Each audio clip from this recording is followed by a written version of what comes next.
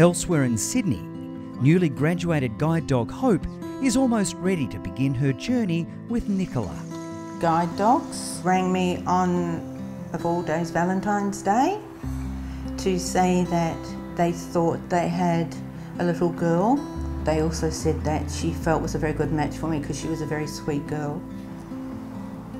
Don't want to cry?